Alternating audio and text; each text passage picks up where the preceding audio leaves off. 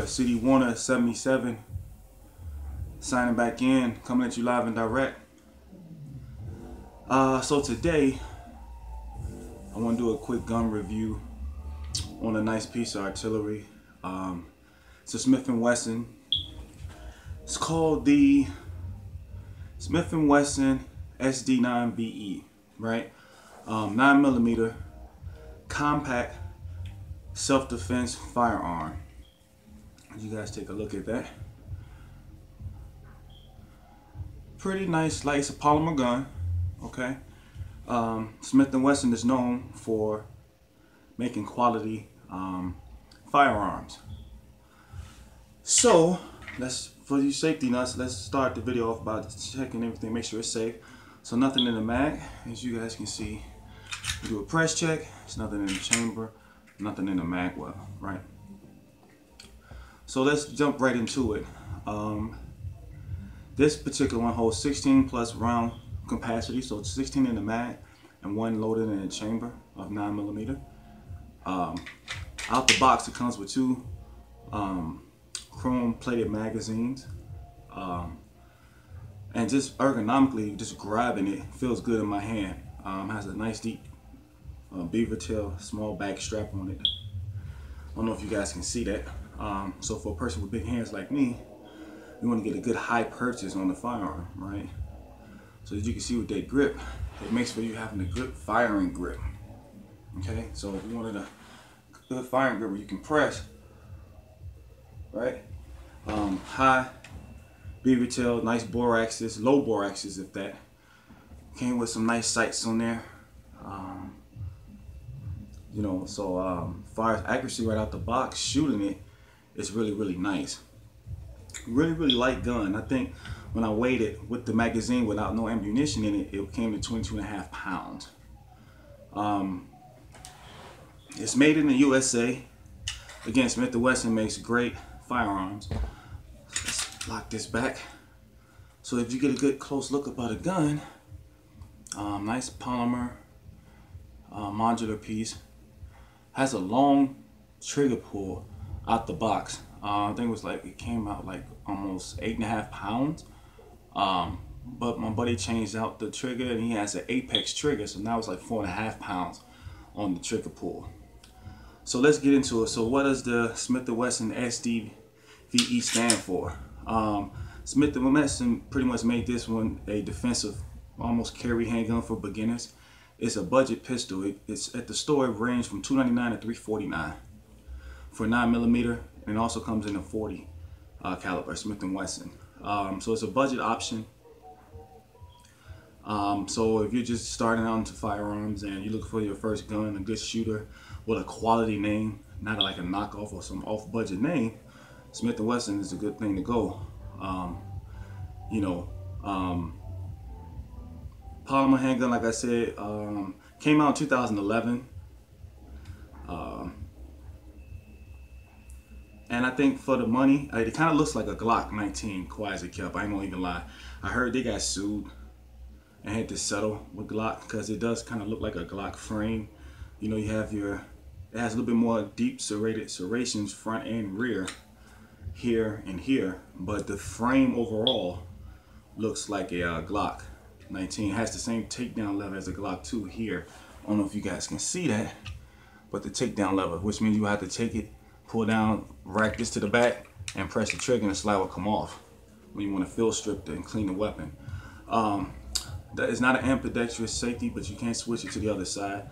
Your safety is here by your trigger guard. You have a pivot trigger, which is a safety, so it wasn't it won't depress unless you press it all the way back. Has a lot of travel and a lot of creep in it, and the gun is clear. So you listen to the trigger, and it's pointing in the safe direction. See how long it is? It's a long take up, not as bad as the stock trigger. So when you let the gun cycle and reset, the reset is still kind of long. Crisp break, but definitely a long trigger. Um, with that being said, uh, I like the grip texturing on here too. Um, it's not too aggressive on the rear and the front, but also on the sides has a nice grip texturing here. Um, as far as the sights, you know, the front sight is a metal front sight. The rear are polymer, so they're plastic. Now these has two uh, red high vis sights for your eyes, which works pretty fine. Um, real accurate on sight from 10 to 15 yards. Um, also has a chamber indicator. I don't know if you guys can see that up there. So when it's loaded, you can visually see it's nothing that protrudes. It's flush, but you can actually see something in the chamber. Or I always say be safe. I always know the condition of your firearm anyway, know if it's loaded. or not. you can always do a press check or whatever, but you know that's another story. Um, pretty much, um, the weight of it, like I said, is nice.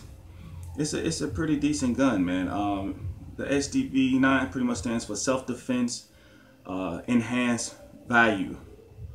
Uh, so it means they pretty much made a, a budget-minded gun um, for the consumer who don't want to pay five, six hundred dollars for a Glock or seven hundred dollars for a Springfield or anything like that. Um, so like I said, compact, is it something you can carry? Yeah. You know, now is it as small as a subcompact? If you do the comparison, which this is a Springfield SDS, four and a half inch barrel, four inch barrel. If you put them side by side, it's pretty much right there.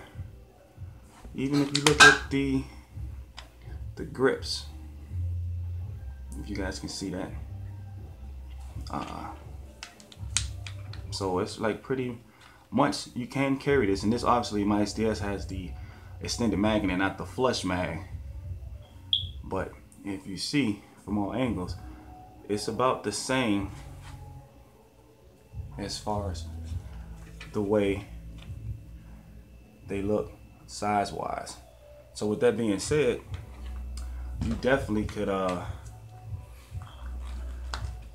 you could definitely uh use this as a carry or home defense firearm. You know, like I said, um, feels good, man. Smith & Wesson is known for good quality firearms. This also has where you can index the finger away from the trigger, like a nice little stippling here, little groove where you can just automatically develop that muscle memory and put your fingernails to keep it index away from the trigger. Same thing when you're doing your firing grip, they have one so your thumb's supposed to make that second point of contact. So a lot of you people who know who train with me and shoot know that I believe in you're supposed to have the right proper shooting grip. So they have the thumb in the section here with the stippling on so you'll know how to be able to put that here. So when you press, it's that muscle memory. You have your forest thumbs grip. See that? So yeah, man, it's a nice firearm, man. I can't complain. Nice, it's 16 plus one, so Nice high capacity, takes a 9 millimeter. I shot some 115 grain ball ammo FMJ um, at the range. Then I tried some 124. Uh, no hiccups, no uh, stove piping, no misfeeds. Um, yeah, you know, I, I, own a couple of Smith & Wesson firearms as well. And, um, you know, quality is there.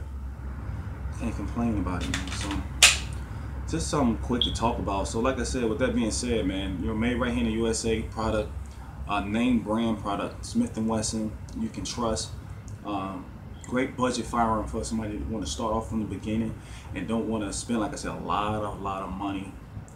Um, I would look into this, man. Like I said, it comes in two calibers, nine millimeter and the uh, 40 Smith & Wesson. Both great defensive rounds, um, high velocity rounds. Um, like I said, for the budget-minded consumer or just a shooter who just being introduced to firearms culture, uh, hey man, I would look into this. I would definitely recommend Smith & Wesson SD9VE, um, which stands, like I said, self-defense, nine millimeter, um, you know, value, enhanced value. So value enhanced, yeah. Um, awesome little firearm, man. Like I said, I can't complain. You guys tell me, would you want to be in front of that bore? It's still a good firearm. So anyway, just a quick review, man. It's not going to be a long video, but um, let me know if you guys like this firearm and do you own it. You know, um, you have any bad things to say about it. I think it's a great starter firearm, man. You know, hey, let me know, like and subscribe, and leave some comments in the box. All my followers, I appreciate the support. I've reached over 500 subscribers for a baby channel in a few months, which is great. So you guys keep liking and subscribing and sharing. Um, and I appreciate it, man. It's your boy, City177, signing out. Peace. Holla.